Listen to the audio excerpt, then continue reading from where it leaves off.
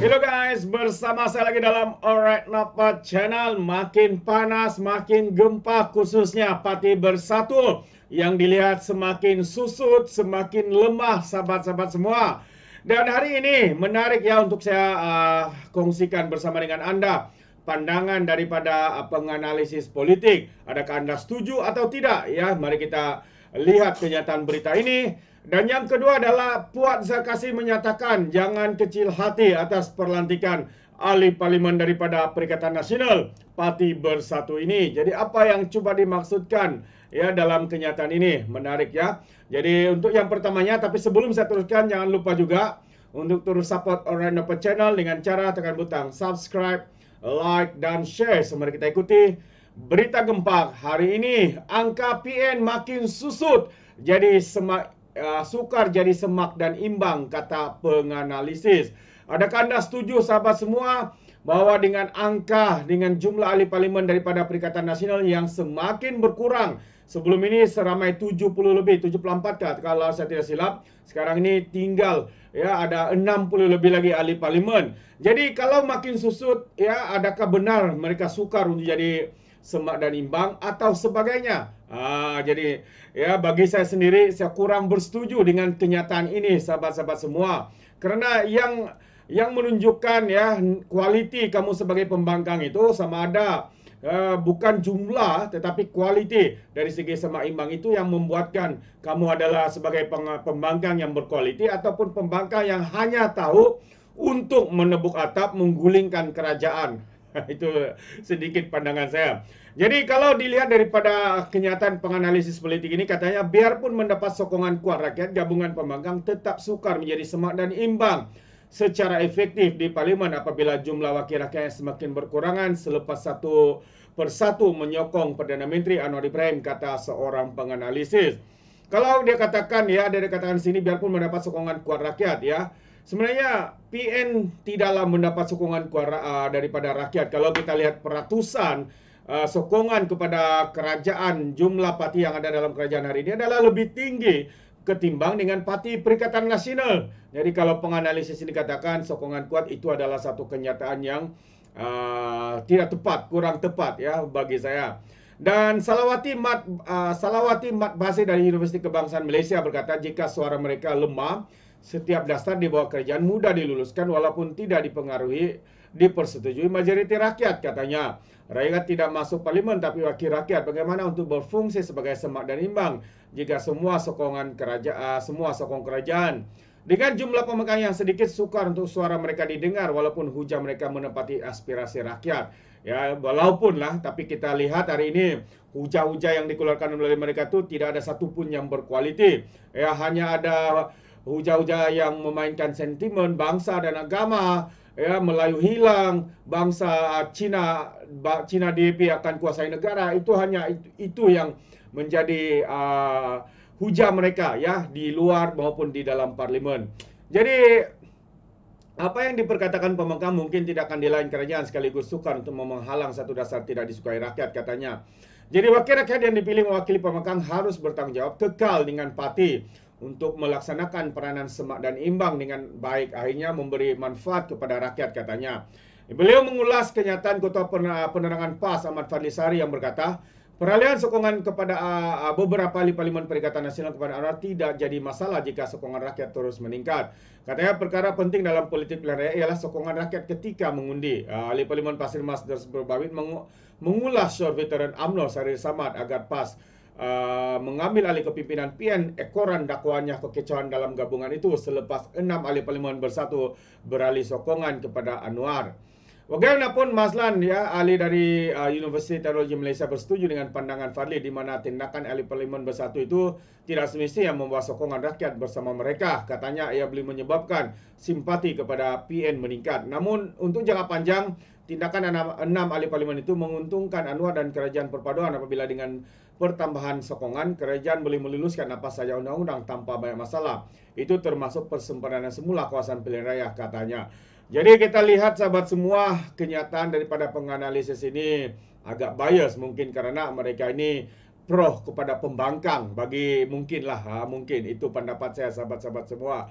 Jadi bagaimana dengan anda? Adakah anda juga setuju atau tidak? Anda boleh berikan komen dalam ruangan komen.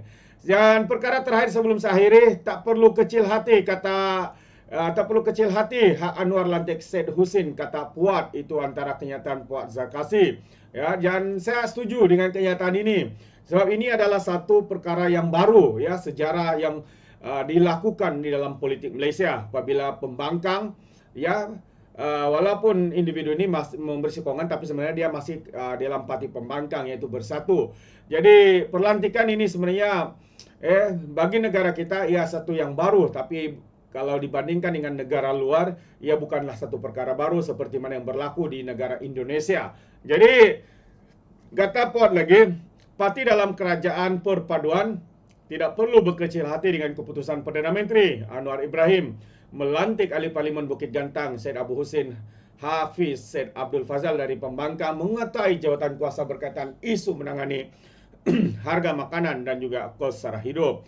Ini kerana kata ahli Majlis Kerja Tertinggi UMNO itu Puasa Kasih uh, kuasa melantik individu mengetahui jawatan kuasa tertentu itu adalah hak Perdana Menteri. Jadi katanya Syed Husin sudah menyatakan sokongan kepada Anwar. Tidak ada pihak yang perlu berkecil hati, terutamanya dalam kalangan parti yang mendukung kerajaan perpaduan. Bahkan UMNO sendiri menerima baik rombakan kabinet oleh Anwar walaupun melibatkan Menteri UMNO katanya. Ada baiknya kalau Perdana Menteri mempelawak ahli parlimen pembangkang lain duduk dalam jawatan kuasa ini atau jawatan kuasa lain. Apakah mereka sudi menerimanya demi rakyat? Ha, itu satu persoalan yang menarik untuk kita fikirkan bersama sahabat semua. Jadi semalam Datuk Seri Anwar Ibrahim mengumumkan Syed Hussein dari Pakat Perikatan Nasional Parti PAS yang dilantik mengetuai jawatan kuasa berkaitan isu menangani harga makanan dan kos sara hidup di bawah mesyuarat khas Majlis Tindakan Sara Hidup. Sementara itu, ahli Majlis Pimpinan Pusat PKR Yahya Mat Sari berkata, walaupun jawatan kuasa itu dipengerusikan wakil rakyat pembangkang, ia tidak bermakna ahli Parlimen Kerajaan tidak boleh menyumbang idea. Malah katanya, perlantikan Syed Husin sudah tentu dibuat selepas mengambil kira dari berbagai sudut, termasuklah berpengalaman luas dalam bidang korporat dan syarikatnya tersenarai dalam bursa saham. Saya juga tidak nampak pelantikan itu sebagai imbuhan selepas sokong Perdana Menteri katanya. Jadi seorang pemimpin PKR Abdullah Sani uh, berkata, keputusan melantik wakil pemengkang mengotai jawatan tertentu tentu tertentu tidak janggal kerana beliau pernah dilantik pengurusi kalkus uh, pekerja ketika Barisan Nasional menjadi kerajaan katanya. Anwar lantik wakil pemegang itu uh, bijak wala seperti mana yang dilakukan oleh Presiden Indonesia Joko Widodo melantik Prabowo. Ah ini yang saya katakan tadi sahabat semua. Indonesia melakukannya juga ya, melantik sebagai menteri walaupun Prabowo lawan politik bertanding merebut jawatan presiden. Ia demi memastikan perpaduan dalam mentadbir negara. Jadi saya dulu dari pemangkang tapi saya dilantik pengurusi kalkus katanya. Pekerja walaupun kerajaan waktu itu BN. Tak kira orang itu dari kerajaan atau pemangkang. Kalau dia ada pengalaman kepakaran untuk kebaikan rakyat apa masalah soalnya? Kata bekas ahli parlimen. Tiga penggal mewakili Kuala Langat dan Kapar itu. Setiausaha veteran AMNO juga Mustafa Yaakob berkata pelantikan Serusin mampu meredakan suhu politik dalam negara dan membolehkan Anwar memfokuskan usaha untuk memulihkan ekonomi negara. Wow. Satu uh, apa ni penerimaan ya yang baik sekali terhadap pemimpin-pemimpin ya daripada pihak kerajaan pen, penyokong kerajaan. Soalnya adalah adakah pihak pembangkang MP-MP dari kerajaan Parti PAS dan juga bersatu menerima kaedah politik baru ini. Ah dan saya percaya ramai yang menganggap ini adalah satu reformasi yang tidak pernah dilakukan hari ini dilakukan oleh Perdana Menteri kita, Datuk Seri Anwar Ibrahim. Jadi kita tunggu dan lihat respon daripada pihak pembangkang, adakah mereka akan mempersoalkan, adakah mereka menyatakan ini adalah satu rasuah, tawaran dan tawaran jawatan dan sebagainya. Kalau mereka mengatakan seperti itu, maksudlah boleh memaksud bahwa mereka ya uh, selama ini hanyalah utamakan kepentingan parti, kepentingan pribadi semata-mata dan bukannya ha, untuk untuk rakyat. Jadi sahabat semua, menarik kita, untuk kita tunggu dan lihat respon daripada pembanggang. Kalau kita lihat respon daripada pendukung kepada kerajaan perpaduan hari ini, mereka semua menyatakan ini adalah satu tindakan yang tepat. Bagaimana dengan anda? Sahabat-sahabat semua, adakah anda setuju atau tidak? Anda boleh berikan komen pandangan dalam ruangan komen. Terima kasih. Izinkan saya untuk mengundurkan diri dan seperti biasa, peribahasa mengatakan, tak apa pun kangkap, dua ton keinginan. Dalam bahasa Melayu, tepuk dadah, tanya selera. Sekian saya daripada Orang Nampak Channel. Saya kita berjumpa lagi. Bye-bye. うん。